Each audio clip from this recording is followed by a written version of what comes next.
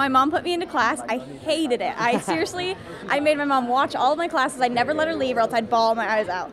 But then when I was probably like five or six, I remember I did this performance on stage. We had umbrellas, and I got to dance around with umbrella, and that was when I was like so into it. My mom has it recorded. I watched it. I seriously loved it. So I think that's when I really started to like dancing so much. That's funny. Um, for me, um, the, when I first realized I wanted to dance like professionally, not just like for fun or whatever, um, I think it was actually the show.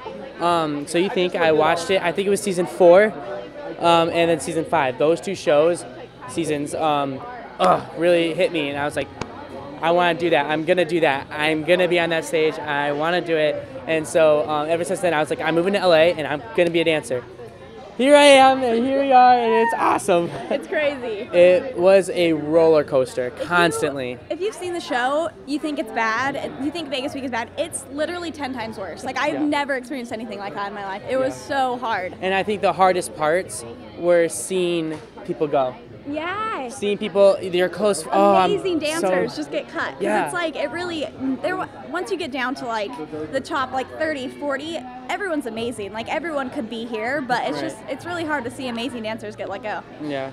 And your close friends even get let go. It's really sad. Yeah. We, were ballroom partners in Vegas. Yeah, So we were we'll partners in we did. Vegas. Absolutely. Five. Can you take like one or two steps over? Perfect. Okay.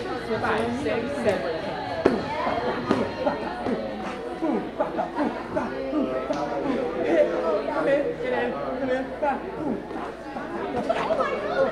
Remember it. I love it. I remember it. I remember it. And then you um, some. All right, we'll stop there. That's when we messed up, actually. We Almost haven't got practiced cut. that at all, so It's been a while, but it brings it back, really. I think today was like the first step of it actually sinking in because every day we'll go out to dinner and we'll be like, wait, we're in the top 20. What? Wait, we're actually on the show. What? And then, it's like but I don't ev- even believe it. yeah, but every day it gets closer and closer and more like sinks in more. But these cameras and getting now pretty and everything, it's just really like, whoo, it's crazy. It's sinking in. But the first live show, that's going to be crazy. I know. It's just crazy, like getting all made up and like sitting there and have them just make me look pretty. I love it. It's so weird. Like it's crazy that we're actually here now. I never honestly thought that this would happen. In the next few weeks, I just, I hope to obviously learn and grow through this competition. But I hope that America will just fall in love with me and my personality, and just really for who I am, because I don't want to be anything else. I'm so excited to meet America. I'm so excited for them to meet me and for me to meet them and get out there and um, to learn. And I just want to be a sponge.